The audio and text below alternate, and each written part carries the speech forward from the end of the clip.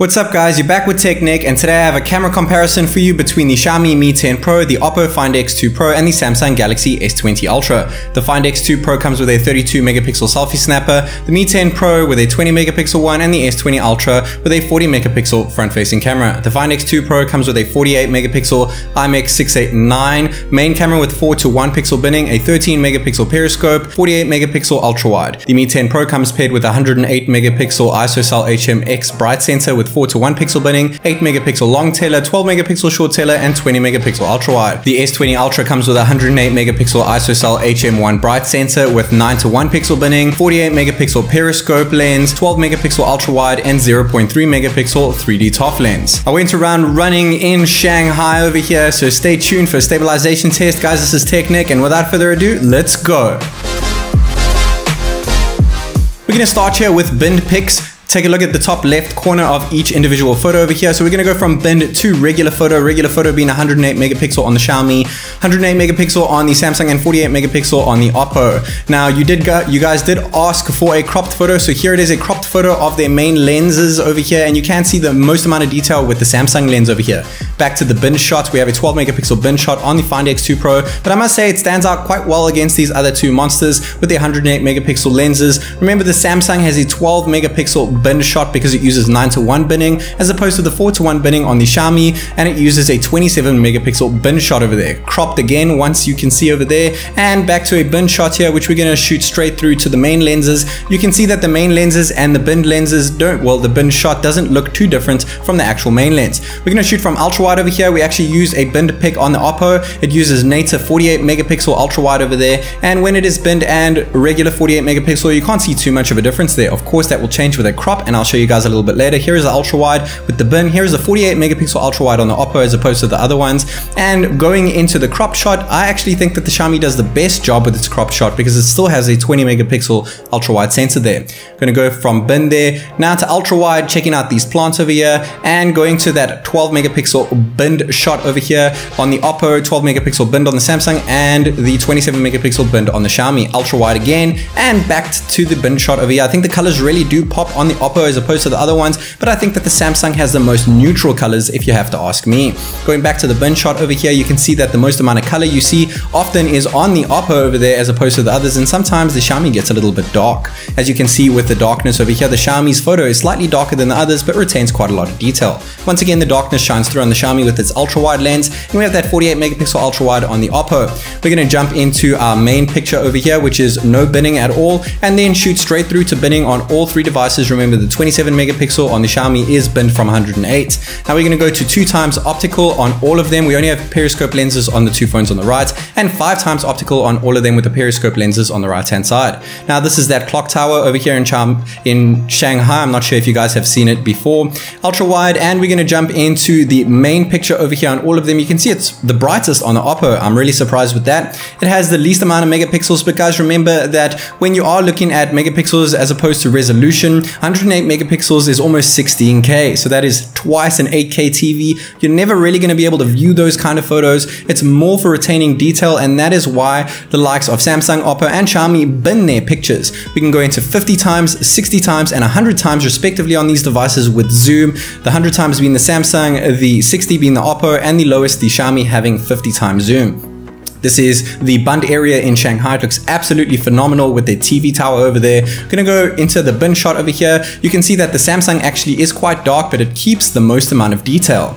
Going into the two times optical on all devices, then we're going into five times optical on all of them. Samsung and Xiaomi have the most amount of detail there on five times, but shoot over to 10 times hybrid and the Xiaomi is quite blurry. Blurry once again on 30 times on the Xiaomi, 30 times on the other two devices still looks great, and 100 times on the Samsung is awesome as opposed to the 60 times on the Oppo and 50 times on the Xiaomi. When you're taking pictures of me outside over here, using the back cameras, things look pretty wonky with ultra wide, but as soon as we jump into the main pictures, I think that the Oppo being the brightest, Xiaomi being the darkest, and the Samsung once again being the best when it comes to detail. Going into the bin shot and now into the portrait, the regular portrait mode is two times on the Xiaomi. This is not a portrait mode, but it uses natural bokeh on these cans and it looks absolutely superb. Moving on to the video section of the video, we all have, we have 1080p on six, at 60 frames per second on all devices over here. I think the Xiaomi is the most wonky. We do have optical image stabilization on all three devices over here. But once again, I do think that the Xiaomi is quite wonky, but as soon as we switch over to 4K 60 frames per second on all of them, the Xiaomi is a little less wonky, but you can still kind of see it shaky over there. We're gonna move on to 8K over here, and now remember, we only have 8K on the Xiaomi and the Samsung. The Xiaomi is capped at 30 frames per second, as opposed to the Samsung's 24 frames per second. The Oppo is lacking 8K, so this is a 4K clip over here.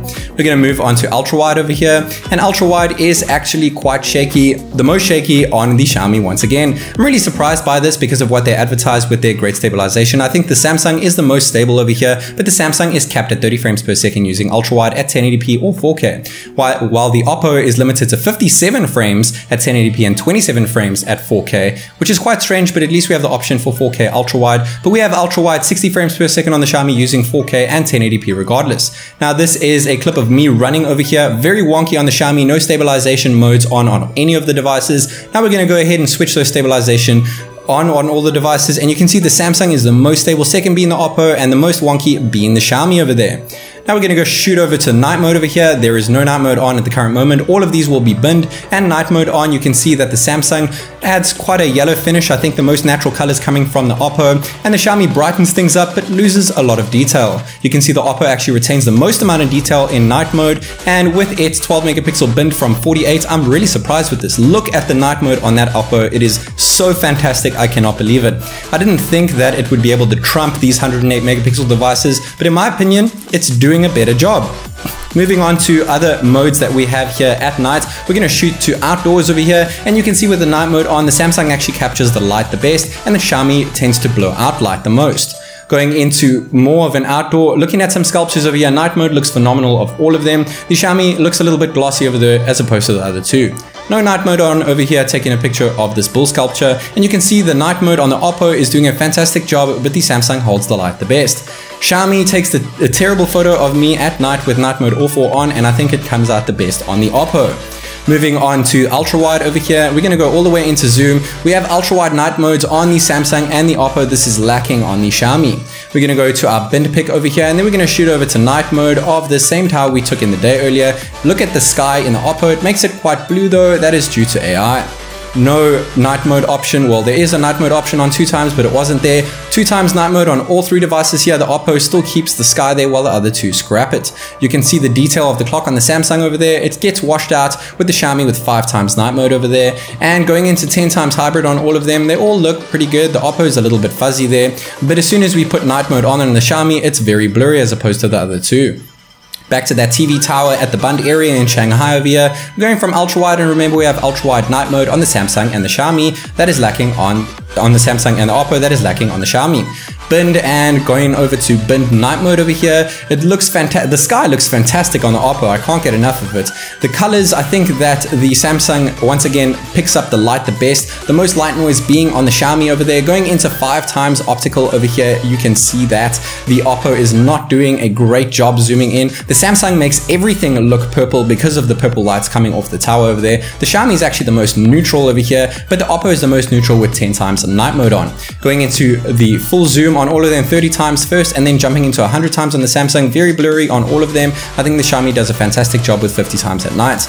Shooting over to video at night, 1080 1080p 60 frames per second on all devices. Once again, we have that shaky feeling on the Xiaomi, but they all look pretty decent for night videography over here. Shooting over to 4K 60 frames per second. Once again, they all look pretty good, but I think that the Oppo is actually handling the light the most over here when it comes to video, where the Samsung did that when it came to pictures at night, the Oppo does it with video. Moving on to 8K, remember we are lacking 8K in the Oppo, so this is a 4K clip of that. 24 frames per second on the Samsung. The Xiaomi is much better when it records 8K with 30 frames per second. You can definitely see the difference. Shooting over to ultra wide over here, the Xiaomi is the darkest, the Samsung is the brightest, but I think the Oppo's ultra wide is the most clear and retains the most detail without any funny grains as you see on the Samsung and the Xiaomi. Moving on to ultra wide 4K over here, remember we capped at 30 frames per second on Samsung, 27 on the Oppo, but we still get 60 clear frames on the Xiaomi. But the Xiaomi once again is still quite dark as opposed to the other two devices. We're going to shoot over to selfies over here, and guys, my Samsung selfie camera actually did break, so I am using using slightly older photos. I try to match it up with the Oppo and I'm still using the older photos on the Xiaomi as well to compare to the Samsung. We have a 6.5 selfie bin shot on the Samsung, but on the Samsung we also have ultra wide, but the ultra wide actually kind of matches with the other two's main lenses, their main selfies. We have a 32 megapixel main selfie on the Oppo over here as opposed to the 20 on the Xiaomi and a 40 on the Samsung, but the Samsung once again is binned. We're gonna shoot over to video over here guys. Let me know what you guys think of the video and audio quality of the selfie cams. Yo, what's up guys? This is TechNick recording a 1080p 30 frames per second video using the selfie camera on the Xiaomi Mi 10 Pro. It is limited and completely capped at 1080p and capped at 30 frames per second. Let me know what you guys think of the audio and the video quality for the Mi 10 Pro. Yo, what's up guys? This is TechNick recording a 1080p 30 frames per second video on the Oppo Find X2 Pro. The Oppo Find X2 Pro is limited to 1080p and completely capped at 30 frames per second using the selfie cam. Let me know what you guys think of the audio and the video quality of the Find X2 Pro. What's up guys? This is TechNick recording a 4K 60 frames per second front facing camera video on the Samsung Galaxy S20 Ultra. Let me know what you guys think of the audio quality as well as the video quality.